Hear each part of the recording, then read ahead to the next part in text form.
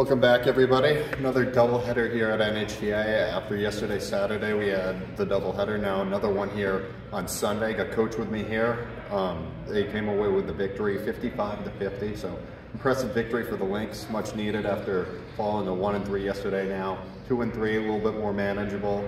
So, coach, what are your thoughts so far on the season and the game today? Uh, so we've definitely had a big struggle with getting numbers and girls to come play. Um, we did end up having to push our season out a couple weeks just so we could wait for soccer to be over.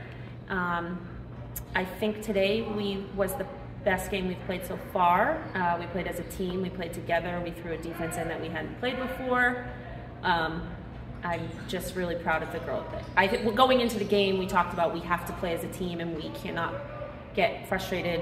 You know, we get tired. We have girls that play 40 minutes not come out. We just have to stay together, and I think that's what I'm most proud of today. Yeah, something that I observed is in the first half, I think it was like the same five group of girls the whole first half. You didn't use the bench at all during the first half. What was that strategy, and why did you decide to go there? So that's our strategy. um, just, I have, you know, five girls that say keep me in and don't sub me out until I can come out. As you know, we only have three subs. Maggie's hurt, so we only have two subs.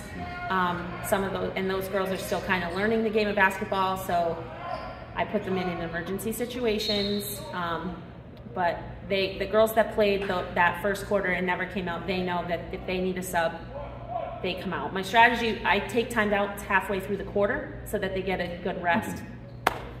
So with the health of your team overall, we saw the injury to Maggie yesterday. She got hurt initially, came back in the game, and I think she hurt her other leg, right? Yeah. So how's she doing? How's the team overall doing injury-wise? Um, I injury-wise, we're fine. I mean, we were sick for a couple weeks, and Maggie's our only injured player. Uh, well, Lexi, she's injured, but she keeps playing. She's one that I have to keep an eye on. If she needs to come out, she tells me.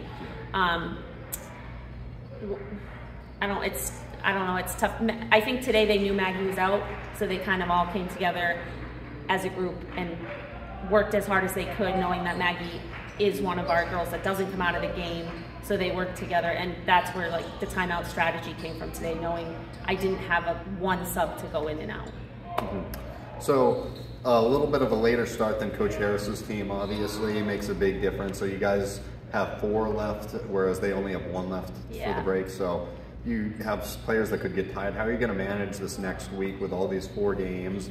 And you know you have the injury to Maggie, and you're having a lot of your starters play a lot of minutes. So the good thing is, is that when we do have practice, we don't have ten girls to scrimmage against each other. So our practices are lighter. So I, you know, we have tomorrow off because seven games. I think it was seven games in a ten day stretch or something like that.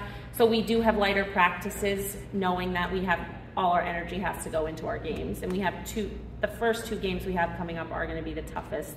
Um, so we're just, we take, we do lighter things at practice, more shooting, walkthroughs, nothing like too intense. Okay. So when do you expect Maggie to return? uh, she said today, and I said no. um, she, I'm hoping either like, if not Thursday, then definitely for the Saturday Sunday games. Mm-hmm. What players do you think played the best today and just have been doing well and making progress over the season? Um, I am very impressed with Emma Broadstone's defense. Um, she was our box and one player, so she did not leave that the one girl the whole time. I'm impressed with our foul shooting. Um, we've kind of been in the low percentage for foul shooting the past couple games, so I think they all came together today and worked really hard on making those foul shots, and some of them were big foul shots at the end, which was good. Um, Janessa really kind of took over. Lexi, t- they all just, it's all a combined thing. Like Janessa took over and kind of leaded them in the last minute to what we needed to do. Lexi brings the ball up the court most of the time. Like, you know, and Kayla with the fighting for the rebounds, and, and they just all worked very well together, together today as a team. What are you most looking forward to um, towards the season as it progresses? Just watching your team get better or any specific games? Yeah, I think, you know, I can't wait to play Great Bay again because I don't think that was our best game. Um, I just look forward to this team becoming more cohesive together and working together because we haven't had that. I, you know, we have everyone has a different personality and everybody is at a different skill level. So I think bringing it all together is my thing I'm looking forward to. All right, awesome. Thanks, Coach. Appreciate your You're time. welcome. Thank you.